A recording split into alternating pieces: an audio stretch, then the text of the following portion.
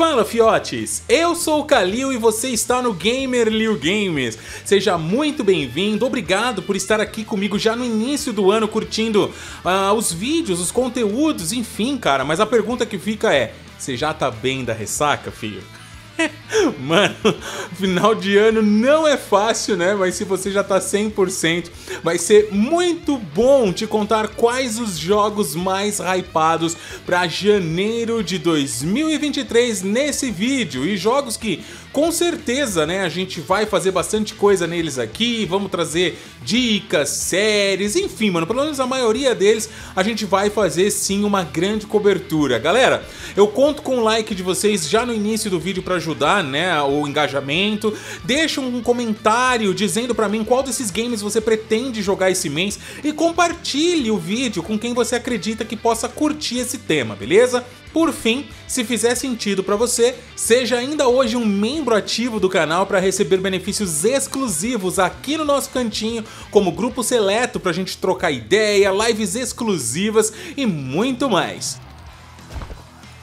Bom, já no dia 12 desse mês, a gente vai ter a chegada de One Piece Odyssey. E embora eu né, não seja um grande fã tal, eu sei que o título é muito aguardado para quem curte o mangá, o anime, enfim. Pelo que eu pude entender, o jogo ele é um RPG de turno com exploração em mundo aberto.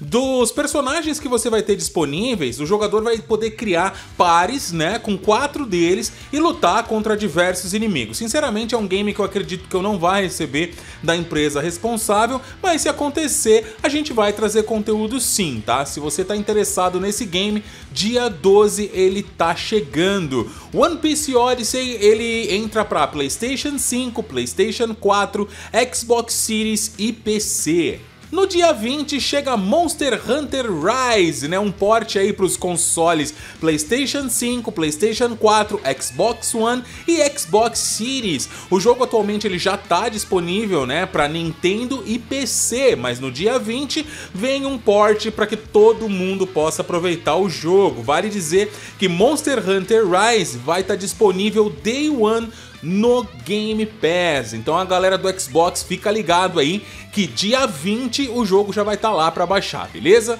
Dia 24 chega Forspoken, sendo esse aí um jogo para PlayStation 5 e PC. Forspoken desde muito cedo, galera, ele trouxe dúvidas entre os jogadores porque até pouco antes da demo que disponibilizaram, a gente ainda não tinha uma ideia real de como o jogo ia funcionar e para ser bem sincero com vocês, sem mentira, mesmo depois da demo, é... ainda tá meio assim, mano. Muita gente não entendeu bem as mecânicas, a proposta, até porque a demo foi nos dada em um... ela acontece, né, num momento que a personagem já tá super upada, com vários comandos que o jogo não ensina. A demo não ensina. Então, eu, ó, eu, Kalil, particularmente falando, eu não tive uma boa impressão até agora. Pode ser que jogando, né, a versão completa desde o início entendendo a história, a lore, né, se é que ela vai ser cativante e tal, a gente consiga avançar e mostrar bastante do game para vocês. Se a gente receber o jogo antecipadamente, óbvio que eu vou fazer uma análise no canal, gameplay gravado, live, enfim, a gente vai cobrir aí sim vocês vão ver a opinião final que eu tenho, mas por hora ainda tá meio nublado, tá? Caso você ainda não tenha testado a demo no PlayStation 5, vai lá baixar, testa e comenta aqui o que você achou, beleza?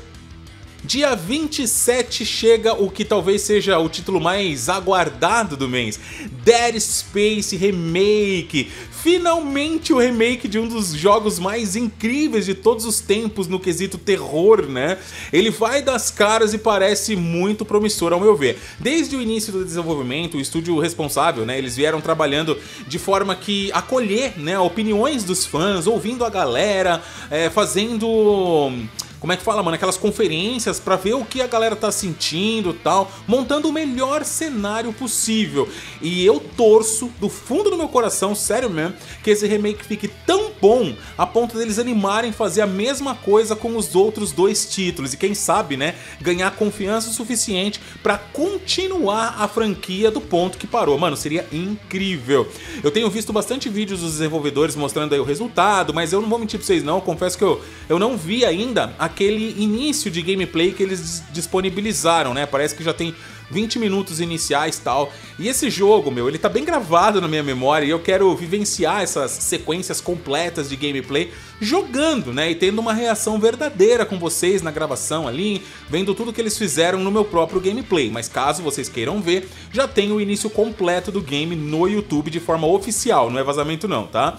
Comenta aí o que você tá animado para curtir em Dead Space, mano. Você já jogou? Você tá, o que qual parte que você que jogou quer ver no, no remake? Você nunca jogou? Enfim, mano. O jogo ele vai chegar para PlayStation 5, Xbox Series e PC. Galera, esses são os principais jogos do mês, tá? Mas vale lembrar que existem outros e eu vou citar para que você também possa saber, claro. Dia 13 chega a versão da nova geração de Dragon Ball Kakarot no PlayStation 5 e Xbox Series. Ainda bem que eu não tinha jogado, mano. Eu parei bem no início, nos primeiros minutos de game e tal porque agora com essa versão, eu acho que a experiência vai ser ainda mais bacana, né? Então é um dos games que eu tô ansioso para poder finalmente experimentar e se o negócio engrenar, a gente vai fazer série completa, tô nem aí, nós vai que vai, mano. Se você já jogou, comenta o que você acha do jogo, tá? Dia 31 chega também o The Cosmic Shake, o jogo do Bob Esponja, que a criançada tá doida para jogar há um tempo. Papai, mamãe, né, vocês que estão aí assistindo, dá uma espiada nesse game, tá? Se seus filhos assistem Bob, Bob Esponja, se vocês assistem com eles tal, talvez seja uma boa pedida para jogar com eles, tá? O game chega para PlayStation 4, Xbox One, Nintendo Switch e PC.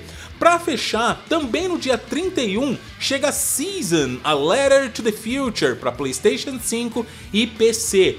Esse jogo, inclusive, tem demo disponível no PlayStation 5 e ainda essa semana tem gameplay dessa versão, né, da demo aqui no canal, tá? Se você quiser testar também, mete bronca.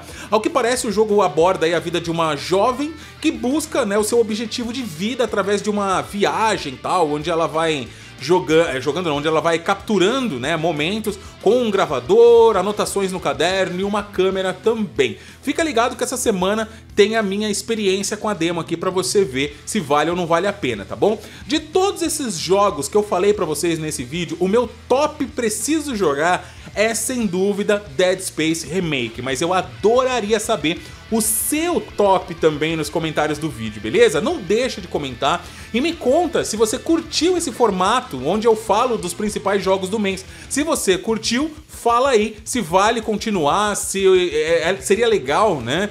Um vídeo desse a cada dia primeiro de cada mês. Pô, vai ser legal. Valeu por tudo, fiquem com Deus, vivam para detonar e nos vemos no próximo vídeo.